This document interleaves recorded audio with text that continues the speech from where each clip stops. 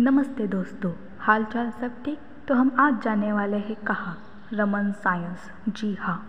Raman science एक एकमात्र ऐसा स्थल है जहाँ हम साइंस के रिलेटेड कुछ पढ़ सकते हैं। बच्चों के लिए स्पेशली बहुत अच्छा है। फिर हमने एंट्री करी और टिकट निकाली और चल पड़े देखने की क्या है। फिर एक सौ दस रुपये में आप पूरा विज़िट कर सकते हैं। सामने एक मस्त सा एंट्री गेट है और गार्डन। ओ वाह दिल गार्डन गार्डन हो गया। मैं यहाँ अपने दोस्तों के साथ आई हूँ। आप भी बताओ, आप भी जाते होंगे दोस्तों के साथ। और यहाँ तो एक बात बहुत ही मस्त है। आप अबाउ फिफ्टीन का ग्रुप है तो थोड़ा डिस्काउंट भी मिलता है। सामने आते ही हमें दिखे एक मुलायम से खरगोश। अब इनको देखकर थोड़ा ही मन भरा था तो आगे दिखा हमें हमें गार्डन कितने मस्त है ना, ये हरे भरे पौधे और धीमी धीमी हवा। मन को बहुत अच्छी भाती है। यहाँ थोड़ा हमारे गाड़ी के पहिए कैसे चलते हैं, वह कंसेप्ट था और हमें फिर मज़े किए। इधर उधर घूमते घूमते आगे हमें कुछ दिखा गया तो हम गए दौड़ दौड़ के। लेकिन भाई, ये तो सिर्फ़ मुझे ही जमा गोल गोल वैसे तो बाहर भी बहुत कुछ देखने के लिए था, लेकिन हमारी आतुरता ज़्यादा ही बढ़ रही थी तो हम गए अंदर। तारामंडल और थ्री शो देखने। तो यहाँ हम सामने गए, फिर टिकट दिखाई और उन्होंने बोला कि राइट में जाओ तो हम राइट में चले गए। यहाँ भी बहुत कुछ देखने लायक है। तो हमने फिर देखा और ऊपर चले गए। हमें थ्री शो भी देखना था। ये तो थोड़ा ज़्यादा ही ऊपर था, लेकिन अच्छी थी सीढ़ियाँ, गोल गोल गोल। यहाँ ना सामने अनलिमिटेड वेल थी। आपको जितने गहराई में जाना है, उतने गहराई में जा सकते हैं। अपनी आँखों के माध्यम से।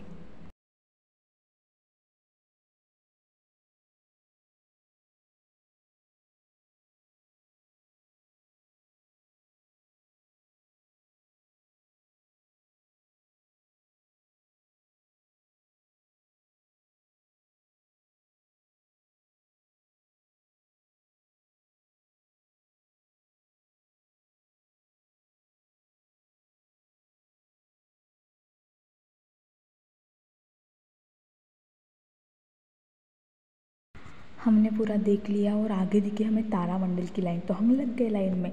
भी मस्त मज़े करते करते गए और यहाँ ना स्कूल ट्रिप भी आई थी। हम तो बहुत एक्साइटेड हो ही जा रहे थे कि तारामंडल में आखिर क्या होगा। जहाँ तक हमें पता है कि तारामंडल में फ़ोन अलाउड नहीं मीन्स अंदर तो लेके जाने देते हैं, लेकिन वीडियो वगैरह नहीं। तो अफसोस, हम अपने कैमरे में कैद करके ये दृश्य नहीं देखा पाएँगे। तो हमने अपनी सीट ग्रहण कर ली।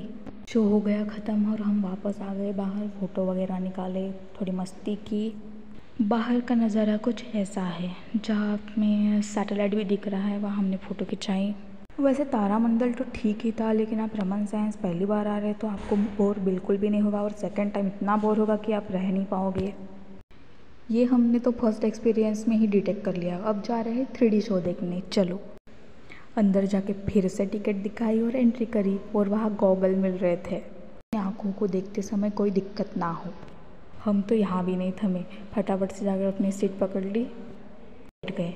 अब बैठे बैठे क्या करें? करना है कुछ काम। सोचा कुछ तो करेंगे। जैसे ही गॉगल मिले चले चले हम। बैठ गए भाई।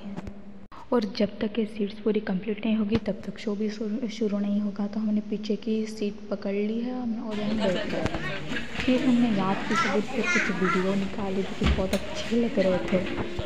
जब भी वीडियो निकालना अलाउ नहीं था तो हम नहीं निकाल पाए, फिर हम गए बाहर। और यहाँ ना वो जादू पिक्चर वाला था। अब हमारा हो गया, हम जा रहे हैं नीचे, अब जाने की तैयारी।